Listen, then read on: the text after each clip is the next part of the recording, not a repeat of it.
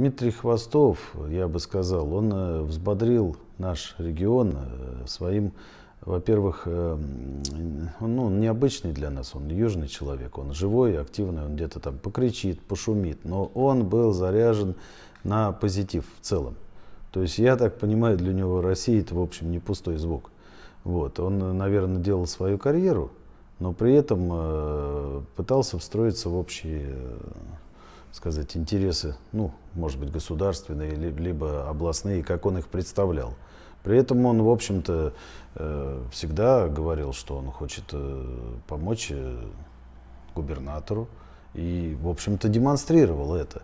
И Ему, конечно, тоже приходилось постоянно преодолевать некое на местах противодействие, которое связано вот с тем всем тем, о чем мы говорили до этого. Потому что, ну, как я всегда говорю, что такое э, какой-то небольшой там город, э, районный или уездный центр. Вот э, есть болото, на этом болоте немного клюквы, но тем, кто по этому болоту ходит, хватает – Вдруг приходит кто-то там, предприниматель Александр Игоревич, и говорит, слушайте, ребята, все, революция, туда-сюда 50 еще и не собрал клюкву, а повытоптал.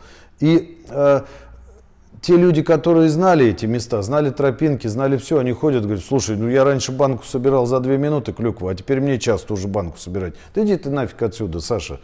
Ну или Дмитрий Анатольевич, условно говоря. То есть как бы э, это нормальный, естественный процесс, он человеческий. Что здесь а такого-то? В человеческих процессах хочу клюкву собрал Дмитрий Хвостов. А я этого не знаю. Это, это знают правоохранительные органы. И они разберутся. Вы сомневаетесь? А, я не высказывала сомнений. У меня вопрос. А скажите, пожалуйста, вот деятельность Дмитрия Хвостова, она как-то влияла на вашу деятельность? Э, я же вам сказал, он тут всех взбодрил. Он э, пытался, в общем-то, затянуть э, на себя каким-то образом одеяло, ну, как он понимал это, вот, в целях, в общем-то, позитивного решения вопросов, так как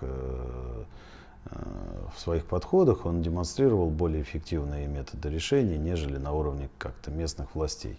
Естественно, по всей видимости, он вступил в конфликт с многими руководителями, потому что у них были разные понимания быстроты, событий. То есть он старался очень быстро, а на местах, вы знаете, никто не торопится, потому что мы сидим, а денежки идут.